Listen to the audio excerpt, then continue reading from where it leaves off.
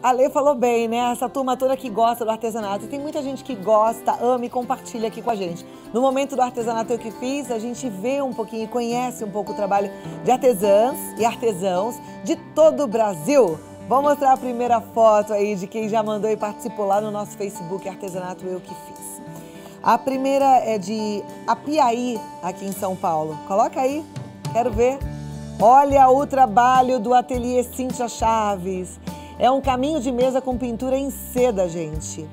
E a Cíntia Chaves, ela fala assim, lá no Face Ateliê Cíntia Chaves, tá? Oi, Claudinha, te admiro muito e acho você uma pessoa incrível. Trabalho com pinturas em seda há 15 anos e este caminho de mesa é um dos meus favoritos. Faço também cangas, echarpes e outros artesanatos. Obrigada pela oportunidade que vocês dão a nós, artesãos. Isso é muito importante. Eu sei disso, mas é muito importante para a gente também essa confiança, esse seu compartilhar. Muito obrigada.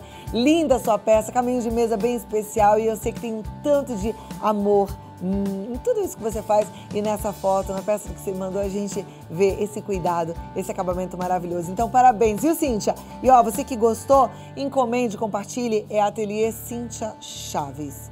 Faz mais um? Então, deixa eu mostrar o que vem lá de Mauá, também em São Paulo é da Neuba Silva. A Neuba mandou um barrado bordado à mão. Que coisa linda! Nossa, que bordado lindo, Neuba. Eu amei. Ela no Face tá como Neuba Silva, viu, gente? E ela fala assim: Olá, sou fã do programa e já aprendi muitas coisas assistindo seus programas.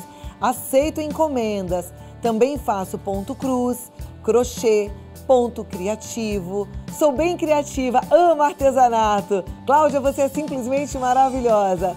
Que nada, menina. Quem é maravilhoso é Deus que te deu essa, esse talento, esse dom e você com essa capacidade de fazer tanta coisa linda. Fico apaixonada. Sim, que trabalho, Neuba. Beijos, meus parabéns, viu? Ela no Facebook tá como Neuba Silva. Encomenda quem vai casar, quem está reformando casa, renovando enxoval para presentear. Maravilhoso o trabalho dela.